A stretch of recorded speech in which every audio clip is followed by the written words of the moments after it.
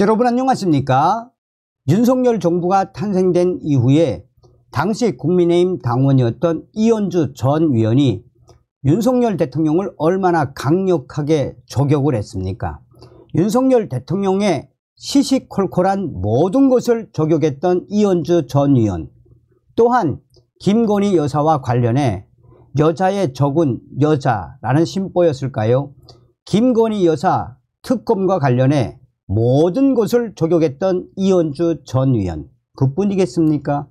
한동훈 전 법무부 장관에 대한 작심 쓴소리를 쏟아냈던 한마디로 뒤통수를 쳤던 이현주 전 의원 자 이현주가 결국은 국민의힘을 탈당하지 않았습니까?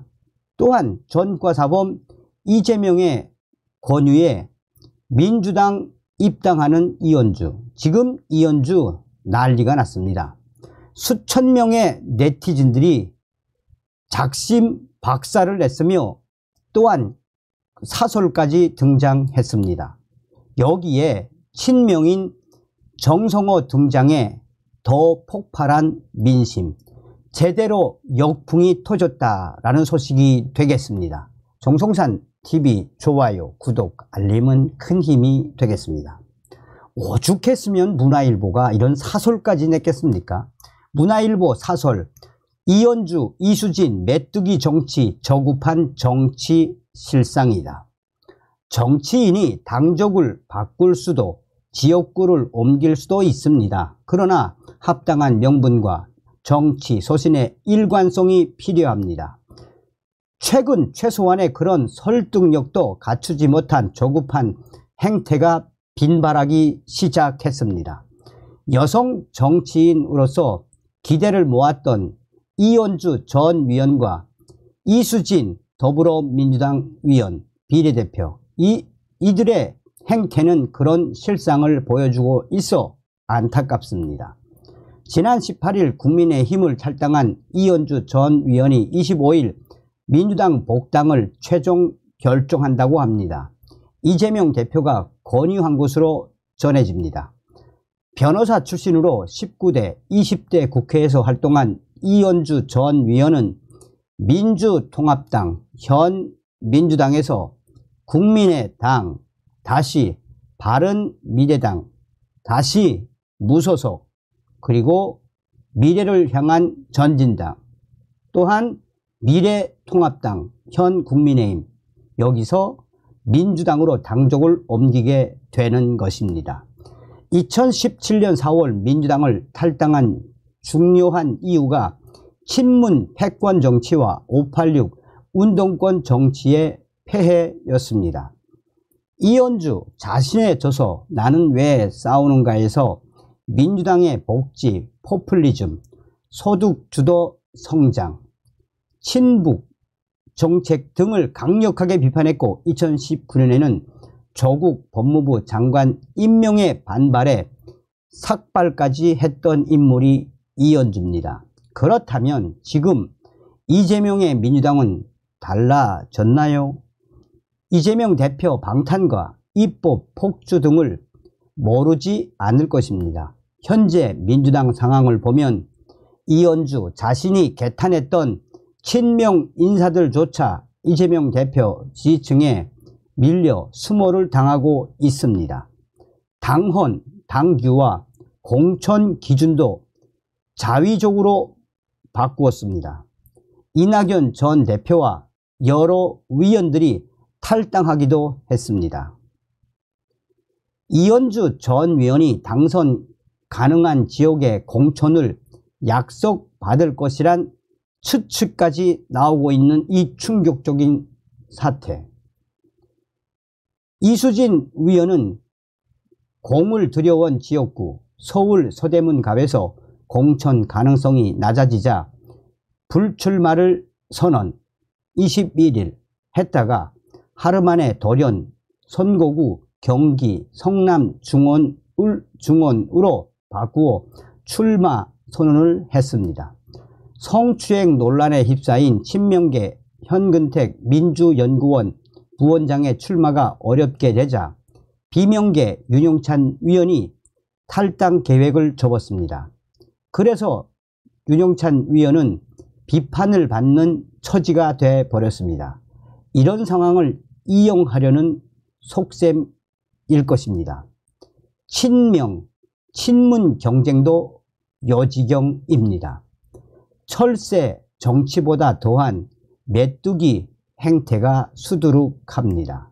라며 이연주 메뚜기 정치, 정치 저급한 정치 실상이라고 사설에서 이연주를 박살을 냈습니다.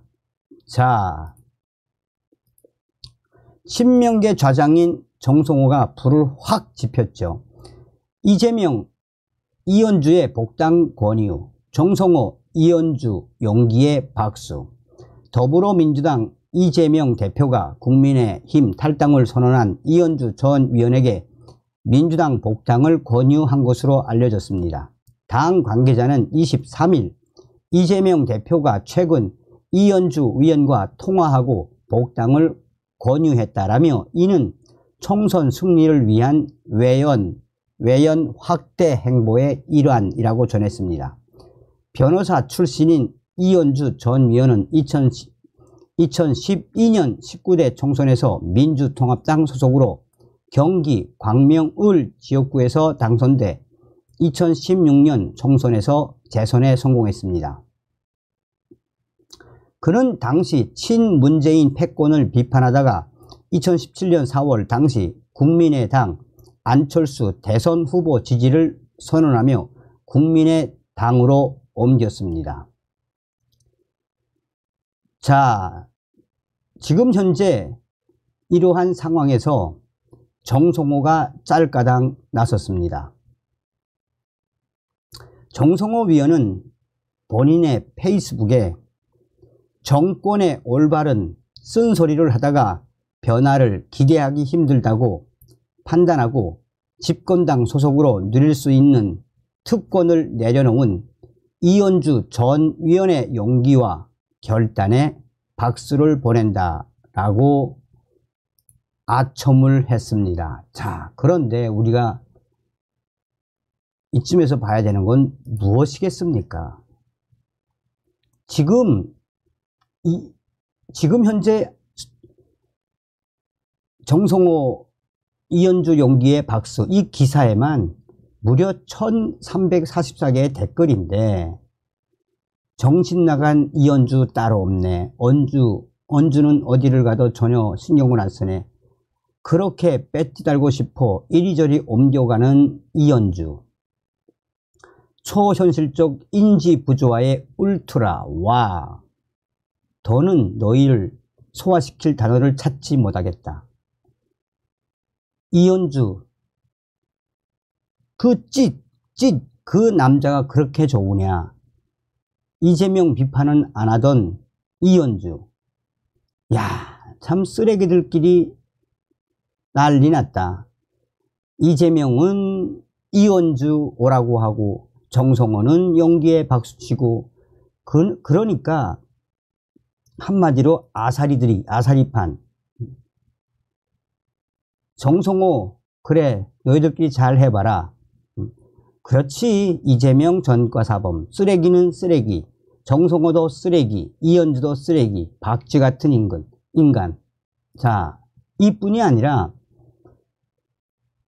윤석열 조격, 이현주, 이재명의 복당 권유받았다. 진지하게 고민 중. 이런 기사에도 1389개의 댓글이 있는데